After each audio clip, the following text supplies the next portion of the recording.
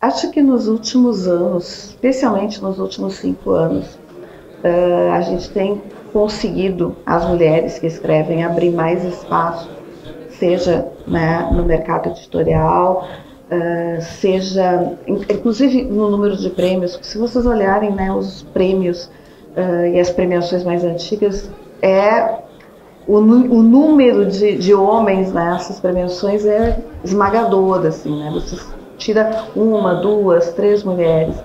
E mesmo quando a gente se dá listas de escritores, uh, ou diz para alguém, pensa no escritor, né? vem imediatamente o nome de um homem.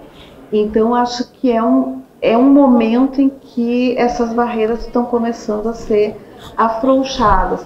E é muito legal para mim, né, estar tá vivendo esse momento, uh, recebendo, tanto recebendo os prêmios quanto essa homenagem de ser patronessa da Feira do Livro, porque eu acho que isso é o tipo de coisa que uh, vai fazer com que outras mulheres se joguem, tenham mais uh, coragem né, de, de, de, de, colocar a cara a tapa e principalmente a gente poder superar a tal da síndrome da impostora.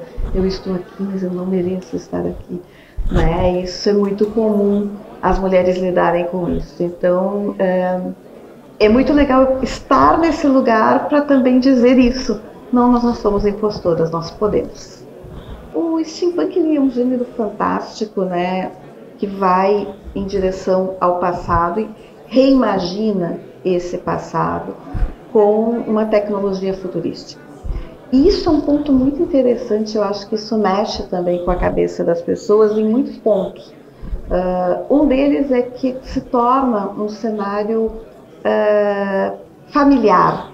Porque você já estudou história, você já leu, você já viu novela, você já viu filme de época, né? Então botar umas gadgets ali, ainda assim é mais familiar do que você pegar um, algo que é no planeta, no espaço.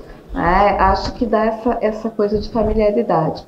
Uh, então, isso acaba aumentando o público, e é um público também muito uh, ligado na reinvenção, na coisa estética, né? Gosta de se vestir, a gente tem eventos de steam plays no Brasil e, nossa, tem em outros lugares do mundo, são enormes, assim, as pessoas gostam de brincar, de reimaginar o passado. E por outro lado, a gente tem a questão do punk, né? Que é, eh, eu sempre digo que o pessoal é mais steam e eu sou mais do punk.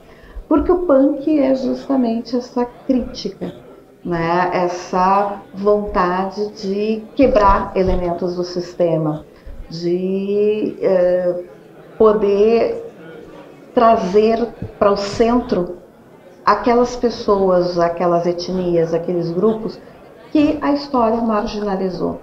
Então, acho que também essa é uma forma de nós recontarmos a história, colocando né, essas, esses protagonismos que foram se perdendo, uh, que, né, que a, própria história silenciou. Uh, acho maravilhoso as pessoas quererem reinventar isso, quererem reinventar né, o passado através da literatura, através do lúdico. Isso, para mim, é um, é, um, é um movimento muito interessante. Assim. E é, claro, um movimento de crítica ao presente e as coisas que nós ainda não superamos. Então, assim, você está colocando pessoas com roupa do 19, mas o comportamento é do 21. E aí as fronteiras se diluem e as pessoas dizem, nossa, eu sou um século e nós não mudamos quase nada.